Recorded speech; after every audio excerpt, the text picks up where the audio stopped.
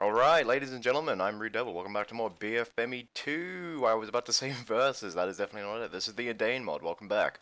Today we're checking out the awesome faction that is Imladris, aka Rivendell.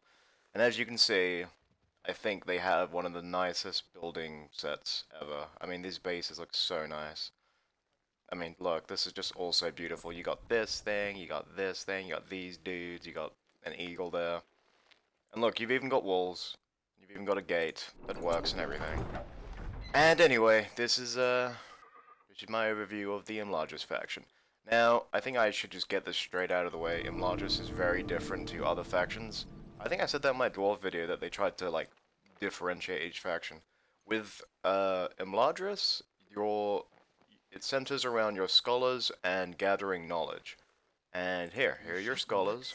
You can make more from this building here which is also acts as like, if you ever played Warcraft, like the building that you use to recruit heroes. Like I've got uh, the Sons of Elrond I can make, and an Elf Lord who's like some superhero dude.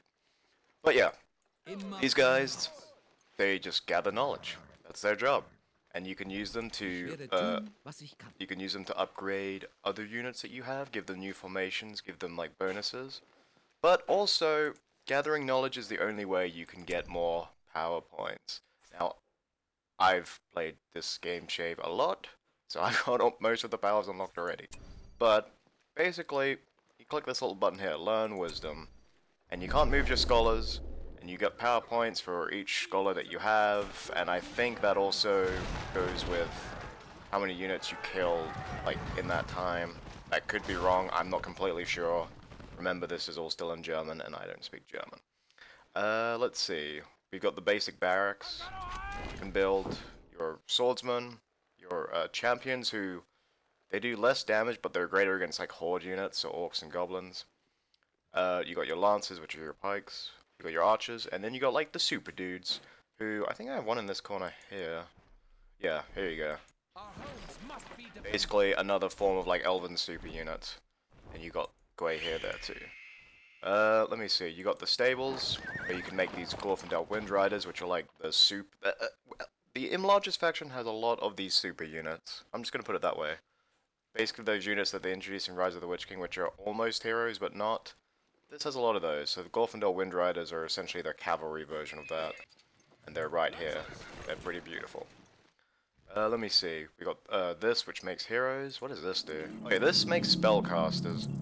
Um, basically, there's one for each element. You can also put them on your uh, fortress to have like a sort of defense. Um, I think I've got one here. This is like a fire and water one that I've merged together. And they have the water uh, mages give me a healing spring, which heals my units. And this one does, oh, allows units to do double damage. Here, give them to them. I think last time I checked this out, the animation wasn't that impressive. If there is an animation. I don't think there is. Alright, and then when you combine the two, you get a secret power, which, uh, like, slows down enemies in a target area. And the animation for this is kind of cool, so I'm just going to go ahead and use it. Anytime. There you go, so there's a bit of uh, fog, a bit of rain. Now they're all disoriented. Uh, let's see, what else we got? Um, I think that's it for their buildings, actually. These are just their farms. One thing I will mention right bef uh, just before I get into their military is this little dude here. Technically, he's a hero, but he doesn't cost anything. He doesn't use up any command points. You just level him up. You, you spend your resources leveling him up, and he just gets all these different bonuses. He's basically like Al uh, Elrond's little helper. Kind of like Santa's little helper, but for the elves. And I think, uh, one he has, yeah, which helps farms. So let's just use that power. If he knows how to do it. Come on. Hello. Left click on a friendly farm. There you go. Basically, he just buffs all your stuff. You have uh, uh, buffs for your teammates. You have, uh, yeah, this one allows heroes to, to cost less, but that doesn't really help me now. I've got all the heroes on the field. And I keep getting attacked by Isengard. So they should be should be taken out. Anyway, we're gonna start over here. We're gonna start over here. We're gonna start on this side and work our way around. Uh, from the inn, I've just made a bunch of stuff. We have this hero, who basically he's quite cheap, doesn't do much damage, doesn't have much health, but I guess he's more of a stealth unit. You can hide him, you can run him, uh, like retreat him really easily. More of a hit and run dude. You've got these units. I think they're called like Lindon. Oh, let's check. What they called? Oh, they're called yeah Guardians of Lindon. They're pretty expensive, and uh, yeah, they can switch between their bows and their daggers, and they do a lot of damage. You've got the dancing hobbits, as you'd expect, and this here represents Imladris's greatest weakness. They don't have any of their own siege, so basically you have to recruit these hobbit uh, ballistas, which fire fireworks. Okay, they don't fire conventional like. Well, they don't fire like boulders or those huge harpoons. They fire fireworks. So yeah, that's their biggest shortcoming. However, they somewhat make up for it. These guys. These are Hobbit donkey riders. Hobbit donkey riders with their own banner carrier on their white little donkeys. And oh my god. Just make an entire army of these. Plus you got Bilbo, and he can use Sting, that's pretty cool. Alright, to the main force. Something that you should know about the uh, elves. They build stuff slowly, they recruit units even slower than that, and their units are all pretty expensive. However, they, they do pack a punch, and it's it's supposed to be because elves are like you know they live for hundreds of years. They're quite experienced in combat, so while they are expensive, they uh, are proficient at killing things. All right, let's see. We've got these archers here, which look really nice. Those are all new uh, textures on their armor. They get golden tip arrows instead of silver thorns, so it's just a nice change. Uh, let me see, what else we got? I think these are the lances? No, these are the champions. They've got like double-bladed things, so they're like the elven equivalent of Darth Maul. They're pretty cool. Uh, here are the lances. And because I upgraded them with a uh, scholar, they get this, uh, they get like a bonus, which they get 70% armor for 30 seconds. That's kind of cool. You got the Glorfindel Wind Riders. Uh, surely I have some swordsmen.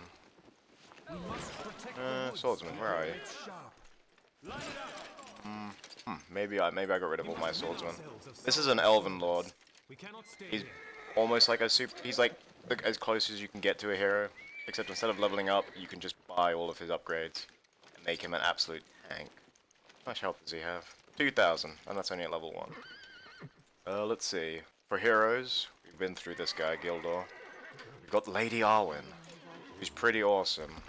She has a heal, because all elves should get heal, and uh, it's pretty much obvious that they get heal. But she's got like a Elendil equivalent, where uh, enemies run in fear. But she got a really nice animation. Again, the Edain mod just outdoes itself with all these like new assets that you use. Uh, 50% speed, uh, double armor. I guess when you want to run away as Arwen, that's what you use. But this is this is the this is the this is the icing on the cake. Just look what this does. Yep, it just summoned Aragorn. It just summoned Aragorn, level 1. You can level him all the way up. I'm pretty sure you can get him to have uh, uh, Army of the Dead. That's really cool. Uh, Glorfindel. Glorfindel on his horse. He's also the... He's not the ring hero, he's just carrying the ring for the moment. He's got Wind Rider, which you should all know. Starlight, which gives like a bonus to attack and defense and also experience. So almost like a, a leadership that you have to activate. Um, this one, this ability here, if I'm reading that description right, it means if he dies, the thing that he marked dies. So, uh, at the very end of this video, I might just mark, you know, a random guy and see if that works. He's also got this, the Light of Hope. Now, depending on where you shine this, it can either paralyze your enemy, or it can, like, buff your allies. Now, this is pretty cool. Also, this light is taken straight from the tutorial of BFME 2. They use this light to tell you where to go. It doesn't last very long, which is really annoying. But yeah. And it, for those thinking that his Blade of Purity is gone, we just dismount him. And we get Blade of Purity, which gives him 100% damage, 50% armor. No invulnerability this time, but still pretty cool. And Riders, look, hardly losing any health. These, these guys don't take damage. Um, we got way here. Let me see, we've got our donkey riders. Uh, let's see. Mm, oh yeah, Elrond. How could I forget? I don't think... I think I'm going to stop talking now, and I'm just going to show Elrond. Because that's the best way to do this thing. Level 1 Flood, as you do. There you go. He's also got uh, Elrond's advice where he can grant experience to other heroes. Level 5 he gets uh, his like battle armor which he's already wearing. He gets his heal. And then his trademark. 180. Which actually doesn't do that much damage to buildings anymore. Also, I don't really like the new animation for the Whirlwind. For some reason it looked better in the old one. That could just be my memory. But, yeah. Anyway, now that that's done, we can really show off the creme de la creme. We can summon Tom Bombadil. Uh, we can put enemies to sleep, which is kind of cool.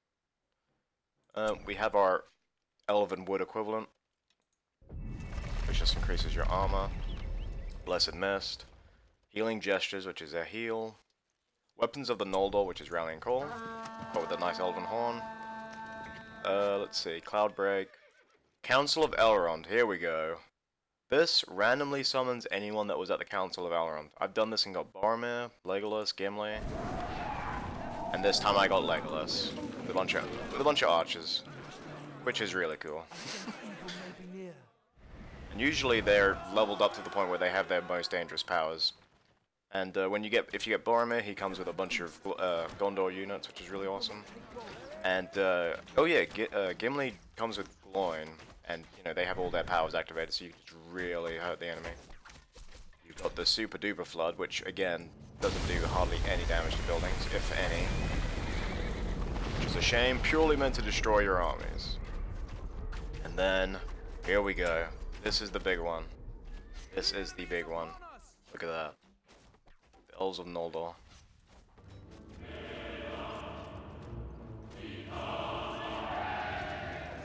You are seeing that right. Get back there. We have Isildur, Anarion, uh, oh sorry, Elendil, Anarion, uh, Isildur, and we have the mighty Gil-galad, the Elven King himself.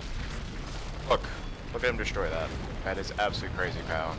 And if we activate this, gets tenfold armor. Tenfold armor. He is not going to die anytime soon. He's taken the full force of that fortress and his health is only going down slightly. This is just one of the greatest, like when I first saw this, my jaw dropped. Just the fact that they put in Gil-galad with all of his armor and a completely accurate shield and everything. He's got the King of Gondor as well. Just really awesome. They all get their own buffs which increase their damage and things like that. I think uh, Isildur actually rallies enemies around him, as you'd expect. And it doesn't matter if they die, because honestly, they're a, they're a spawn. They're, they're on a timer. They're gonna go down soon. But just, uh, I, the fact that they made this all from scratch. I mean, look, where, where would they get that model from? For, uh, uh, Elendil. It's just too awesome. Then tenfold armor, I just, uh, what is the name of that power? Oh, it's just called Star Shield. I thought it'd be like badass Elven King of Doom. And give him another boost. Alright, now while Gil-galad's dying, send in the cavalry. Or the donkey cavalry. Go my beautiful hobbits. Go my beautiful hobbits. So yeah, I actually think let me see, if I when I actually get around to killing the enemy, I think I'll activate this learn wisdom and we'll see how many how much my power points increase.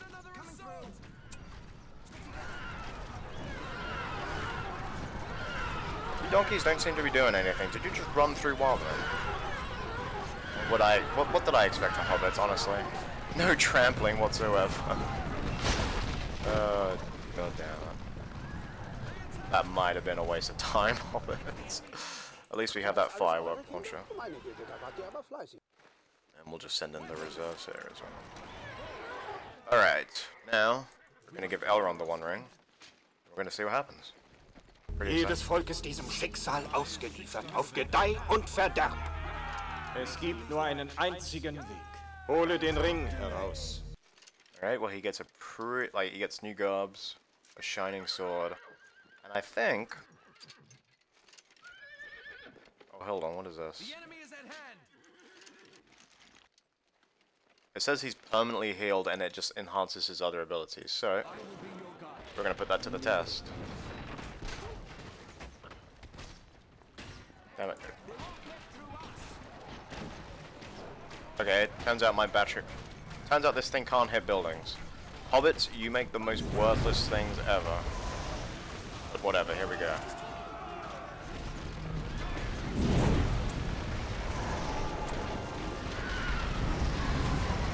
Alright, where's Elrond? There he is. Time to put the One Ring to the test.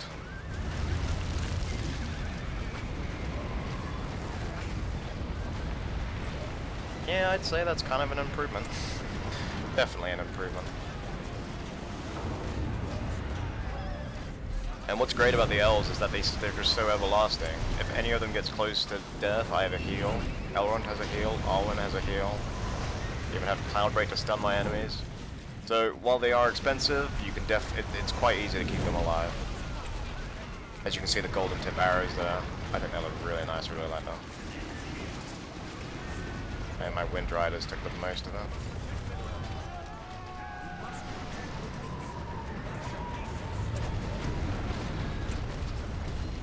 Oh, and his Flood has a greater area of effect now as well. There it goes. So yeah, anyway, tell me what you think about the shorter format of these videos. I had everything prepared. Uh, if I think I spent the best part of an hour in this game, so if I hadn't done this, yeah, you guys would have had to sit through a lot of me just fending off the enemy, getting everything set. But if you did prefer the old format, I mean, I think I tried it with Mordor, and it wasn't that long. So it really depends what you guys want. I think I can make more of a, a like strategic review of how to play as them when I like when I record it from the beginning. But you can't deny that these Elven units just look so nice with their blue capes and golden armor. Oh, we're gonna use this again because our powers come back insanely quickly. Wait, can we put that builder to sleep? No, we can't. And I don't know what it is about Isengard fortresses, but they seem to be incredibly OP.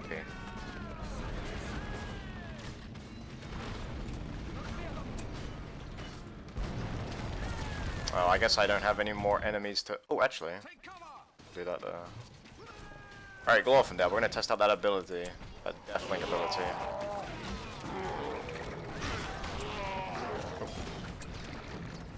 Well, it seems like I can't target the enemies. Maybe it has to be an enemy hero, I don't know. Wish I knew the answers to all these questions.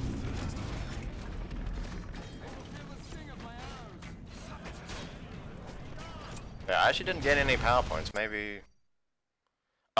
It's probably set, you know, because I already unlocked all the PowerPoints. Otherwise, I think I'd be at like 30 points by now. Even though it's linked to your scholars, it, uh, when you actually start, you know, get like just pumping them out and then just killing stuff, you, you see, you, it really increases quickly. Anyway, before we do the coup de grace, does he have a builder? No, I don't think he does. I think we won this.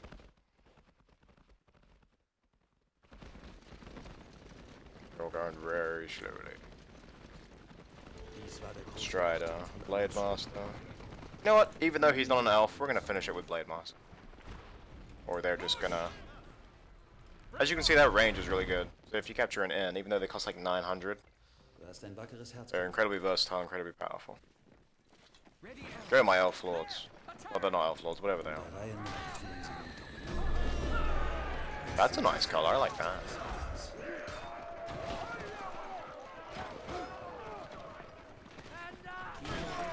Let's see if these guys' health goes down. Or they're just gonna slaughter everything in their path. It's gone down a bit. What I like about Aragorn, and you'll actually see this more when I when I do my Gondor video, is that his his garbs change as you level him up to reflect his progression. As you can see, he's like a ranger at the moment. He's a strider. But when you level him up, he should wear the thing he wears in Two Towers, and then by the end of it, he'll just be wearing that uh, like Captain of Gondor outfit that he wore uh, at the Black Gate. I mean, that wasn't the king's attire, but it looked really nice. That had the uh, white tree on it and everything. You guys know the one I'm talking about. Alright, this is going to be the end of the video. That was Imladris. Thank you all so very much for watching. If you enjoyed the video, please hit the like button. Next faction will be Mordor, so stay tuned for that. If you have any other requests regarding BFM2 Versus, or indeed like online battles in GameRanger, let me know. As always, I'll see you next time.